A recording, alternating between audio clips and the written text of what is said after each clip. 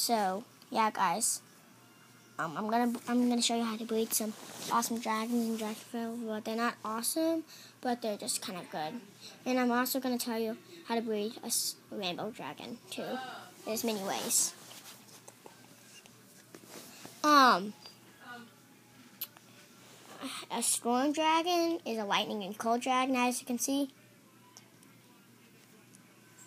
And a fire dragon, you have to buy it. See, it costs five hundred dollars. That's a lot of money for for in real life. And now for a blue fire dragon, I can't show you because he's in my tournament. And he's a snow dragon and fire dragon. Not a cold dragon, a snow dragon and a fire dragon. Now for the poison dragon, it's a plant and fire. You have to buy those too. But you have to have a breeding cave to breed stuff. I see, okay. Um, for a crystal dragon, it's a lightning and earth. See, as you see.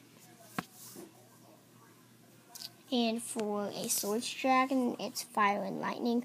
You have to breed all these with luck. Okay. For a lightning dragon, you have to buy it.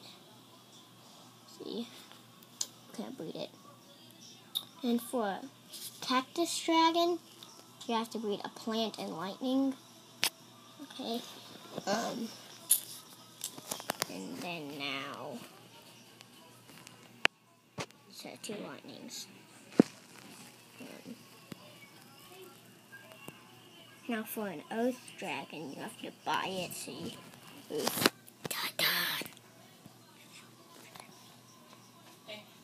Um, and then for a plant dragon, you have to just buy the plant dragon.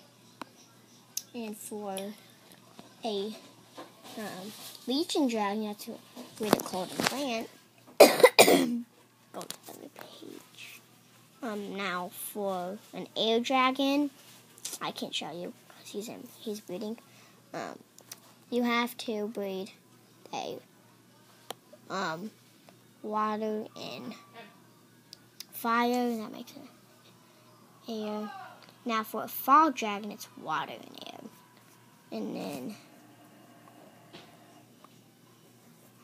um, now for a lava dragon, it's fire and earth. You can also get some other dragons with fire and earth. Now, for a swords dragon, fire and lightning. And now for a Firefly Dragon, you have to breed a Fire and Lightning, just with luck to buy those. That clearing one. And and that's all for right now. Um, I'll show you some other ones. I'll show you all of them.